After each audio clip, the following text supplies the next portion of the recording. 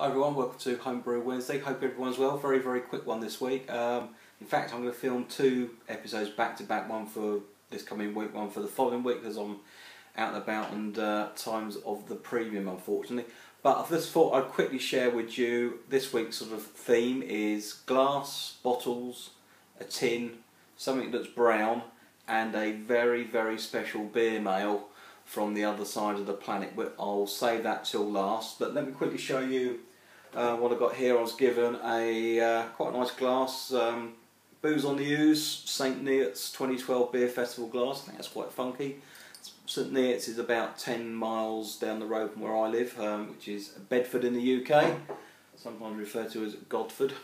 Um, also, was given that as well, nice uh, Beerstein 1 litre jobby. Um, had some fun with that.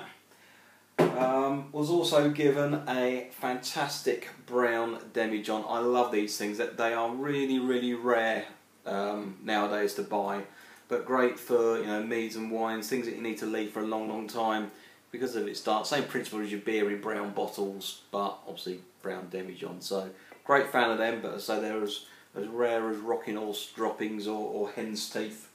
Um, also, bargain beer times. Um, I've got some here which will make its way to my other show Thirsty Thursday, but just to quickly show you, I've got a Grafenwalder Pils. That was 85 English pence from supermarket chain Lidl, going brewed under the Bavarian laws, etc. That what tips the scales 4.9% ABV, so 85p Lidl's.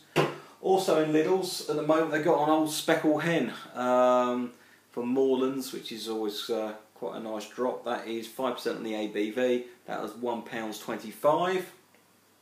Also in Lidl as well um, is a Whitstable Bay Pale Ale. This is by the Faversham Steam Brewery, which is uh, falls under the um, Shepherd Neame badge uh, or umbrella of companies. But um, looking forward to that one as well. And um, not from Lidl's, but this time from Sainsbury's in the UK.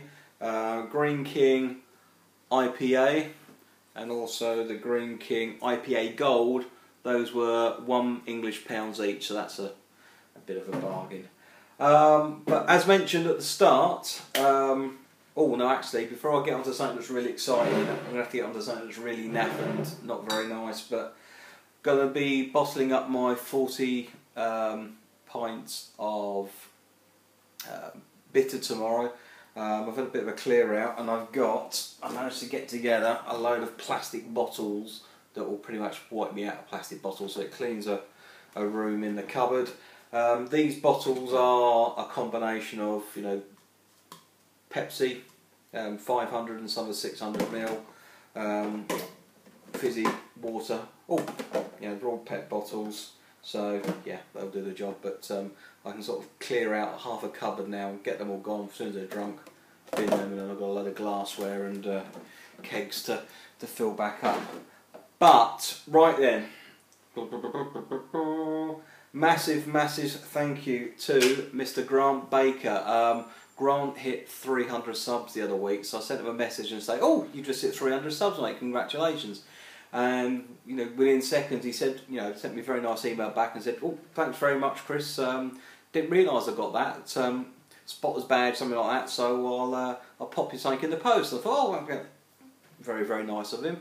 Um, I was in Germany last week, but whilst I was away, I had a delivery come all the way from New Zealand, which is, if you look at the uh, atlas of the world, it's a long way away from uh, from the UK, and in the box was kiwi fruit chocolate that Mrs. Brewbear's already got her eye on, and I can see her on a on a laptop over there looking at me, shaking her head. So uh, I think I might donate that to her, or maybe try and get a strip myself. And in there as well was a bottle of beer, and he very, very kindly sent me over a Panhead Custom Ales Vindicator. Check that out. Ruddy El Grant, thank you so much, sir. That is fantastic. Now, in a few weeks' time, I'm going to be uploading my 100th um, YouTube video to do with beer brewing, homebrew, beer tasting, etc. So I might do a Thirsty Thursday meets Homebrew Wednesday and pop that one. But um, you're a gentleman and a scholar. Thank you so so much, and I can't wait to try that. So thank you. Um, the only other thing I need to mention is, you know, I, I try and point out bargains to uh, everyone. Um, also, the unknown brewer very kindly put one up about Aldi in the UK got a German week on. Um, that they've got the swing top bottle, so yeah, go and check James's uh, channel out as well. Um, so if you're in the UK, go and get some of them. But also in Lidl next week in the UK, they've got at one pounds twenty-five Jennings. Either well, I think they're doing the Cumberland Ale and the Sneck Lifter Ale, which is which is that. That does it for me. Um, thank you so much as always for watching. Um, really appreciate all of your comments. The um, subscription numbers are popping up a little bit, so uh, yeah, going in the right direction. Thanks very much, everyone. Once again, thanks, Grant, and I'll see you all again soon for another Homebrew Wednesday.